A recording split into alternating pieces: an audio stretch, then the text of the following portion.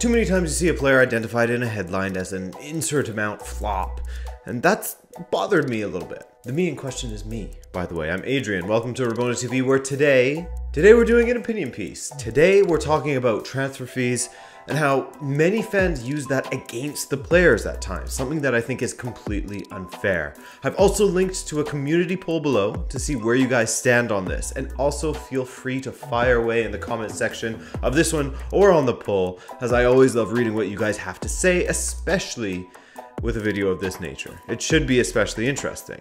Especially, especially, especially. Let's get into it. Let's talk. It's Friday, so it's a bit more of a relaxed video, though I do have some research papers I'll reference as well. So first, I think we need to shift our focus away from seeing the transfer fees as the valuation attached to a player and more like the value the club places on the rights to the player or just the amount of money it took to get the rights to them. The narrative has shifted so much toward the 100 million euro man or the most valuable right back in the world, or what have you in the media, to the point where it's almost as if it's some of these media tropes have changed how the fans view a player. They see players with a monetary value next to them as if they are a commodity that has a set market price. Player X is a Lamborghini, while player Y is a reliable Toyota Corolla. But with the way the market has moved these past few years, this past decade really, Corollas are being bought at Lamborghini prices, and depending on at which point you're selling your Corolla, what kind of form your Corolla is in, and to which buyer and what kind of financial power they have that you can exploit, that you can bleed out of them, you can make quite the profit off of your Corolla. Much more than perhaps it's actually worth. But let's put the car stuff aside for now. Assigning a number value next to a player, buying into no pun intended, but buying into the amount that they are transferred for and treating that as gospel to the actual quality of the player is a fool's game at this point, and unfair to the players. As I mentioned earlier, shifting the focus towards seeing the transfer fee as just the key or the rights to having a player on your side is much healthier and it shifts the burden, if you will, of that price onto the club instead. Instead of reacting angrily to Pogba and saying that it's a joke that he was valued at 90 million pounds. I mean, Pogba didn't set the price, Juve did. Raiola added a hefty chunk to it, and United agreed that this was the right signing for them to make. Pogba didn't force anyone's hands. Two clubs and an agent came up with the price. And speaking of guys like Raiola and agents adding millions in agent fees to transfers these days, the inflation of the market makes it even more of a joke to hold players accountable for the fees that clubs agree on to transfer their rights. Here's a study from the CIES Football Observatory monthly report from September 2019, who by their own words, quote, since its creation in 2005, the CIES Football Observatory has been monitoring the transfer of players through information published by clubs and the media. The 47th edition of the monthly report analyzes from a financial perspective paid transactions having taken place since 2010, which involved teams from the five major European championships, the English Premier League, the Spanish La Liga, the German Bundesliga, the Italian Serie A, and the French Ligue 1. Perfect. So we all understand what the Football Observatory are what they do, and what their credentials are. So, what were their findings from September of 2019, pre pandemic, when it comes to spending and the inflating of transfer fees? All things being equal, the price of players during the last transfer window, summer 2019, went up by 31% compared to the previous year. Since 2014, the annual inflation growth rate on the transfer market for Big Five League footballers has been 26%.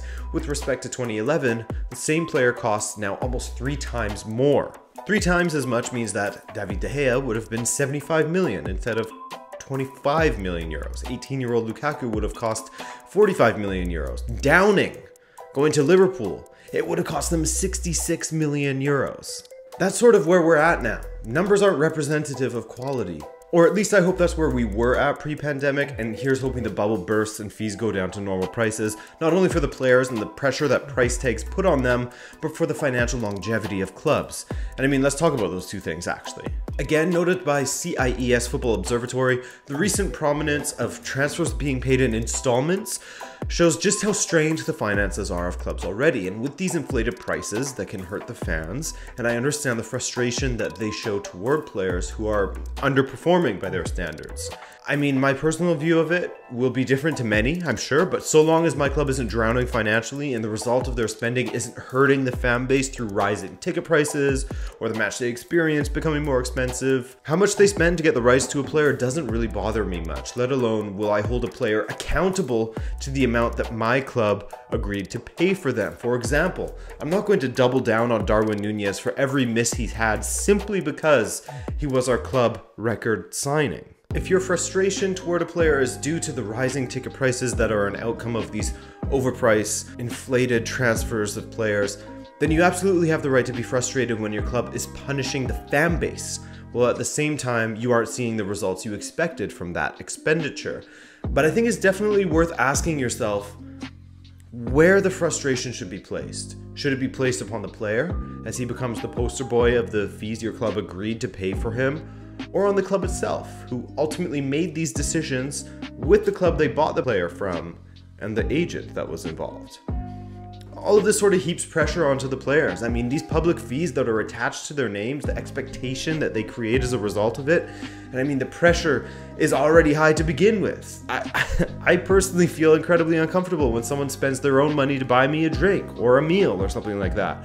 Imagine how I would absolutely collapse if a club spent 50 to 60 million, 120 million on me, and then paid me gargantuan wages on top of that. Of course I would be nervy and it would affect my performance. I'd be fighting a losing battle from the outset. The expectations would be way too high. But I mean, footballers are humans too, and that pressure alone can be enough to cause them to underperform. And then you add in all of the calls from supporters of your own club and rivals that claim you are stealing a living or a fraud thanks to the value associated with you that you didn't even come up with. I mean, wow. Constantly reminding players of their value isn't helpful for them, let alone the adjustment window that we allow players getting smaller and smaller all the time in search of instant results. We expect them to be perfect from the outset or shortly after, when we used to be a little more patient in the past, I found. Now, ideally, transfer fees would be completely private, but that's not at all a possibility as transparency is absolutely necessary in an extremely corrupt sport like football. And it's especially necessary for those clubs that are publicly traded on the stock market. They have to have even more transparency as they have to make their books available to the public, and in turn, make their liabilities available, etc. So, that, to be honest, would take a lot of pressure and toxicity out of the game if these transfer fees were private. And that would be great. It would kill these lazy titles like this as well, which are just cruel. I'm not saying that you shouldn't be able to point out a transfer that seemed pointless for other reasons or that the player didn't live up to the expectation, but calling them the 40 million pound flop and stuff like that just adds to this aspect of football fandom that doesn't really help anyone, in my opinion, and takes the heat off of the clubs that came up with the numbers, agreed to them, and contributed to the inflating prices in the market, and puts it on the players, adding further pressure to them, essentially starting a new job somewhere.